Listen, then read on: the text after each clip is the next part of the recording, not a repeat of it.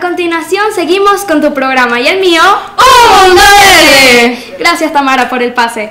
Hoy les tenemos un programa, un tema muy importante. Claro que sí, le venimos a comentar sobre la importancia y lo necesario que es saber de la importancia de cuidar el planeta. Incluso existen textos bíblicos y encíclicas papales que ordenan al hombre a cuidar y cultivar en ella. Claro que sí. De hecho, en Génesis dice que Dios creó todo hermoso para que nosotros, los seres humanos, los disfrutáramos. Y nos ordenó a que cuidáramos y cultiváramos en el planeta, cosa que debemos mantener eh, sea cuando sea.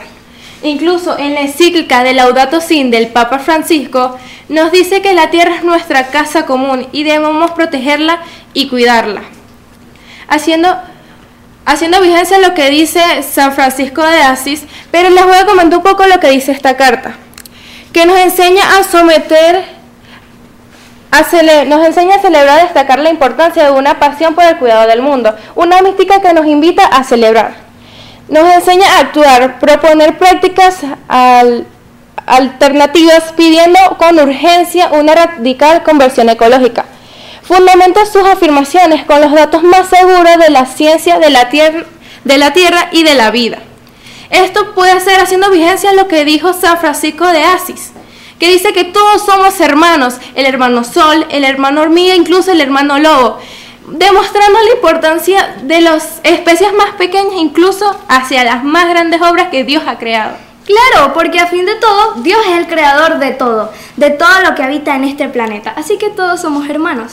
Pero una pregunta, eh, ¿tú crees que los seres humanos tienen la importancia o saben la importancia de esto de cuidar al planeta y la responsabilidad que esto conlleva? Yo pienso que una mayor parte sí, pero aún faltan muchas personas por concientizar. ¿Y quién mejor que nosotros los jóvenes y niños en demostrarle y demostrarles la importancia de cuidar nuestra casa común? Porque yo pienso que si ellos lo llegan a ver, dicen, por si unos niños y jóvenes lo pueden hacer, porque yo no? Así que le damos el paso a los muchachos que nos tienen una información importante. Gracias Anaís, gracias Cris por el pase. Y les tenemos una lamentable noticia. La verdad no quisiera que esto estuviera pasando en el mundo. Y la noticia es los deshielo en los glaciares. Justamente la casa de osos polares, pingüinos, leones marinos y focas, los cuales necesitan este clima para poder sobrevivir. Aunque tengo una duda, ¿será que la Tierra está llegando a su límite? Bueno Arturo, estos osos polares están viviendo en pequeños bloques de hielo. Imagínate eso.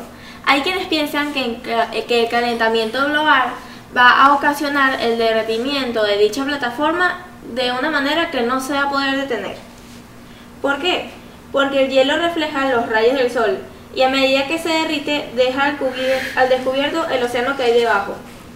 Al ser más oscuro, el océano no puede reflejar bien los rayos y absorbe más calor acelerando así el derretimiento, este ciclo podría ser muy imparable y muy destructivo, pues el deshielo elevaría el nivel del mar y perjudicaría la vida de cientos de millones de personas. Y justamente los osos en... Ay, Los osos no podrán donde tener, vivir ni comer, lo cual va a ocasionar la extinción del oso polar. Me parece muy triste ya que eso todo es culpa del humano. Y de verdad parece, llegan al punto de parecer un perro de las calles. Y me da como que un dolor en el alma verlos así. Y todo esto fue por causa del humano y la contaminación. Y ahora vamos a un conte comercial, pero no se despeguen sus pantallas que ahora volvemos con más de Un Mundo Verde.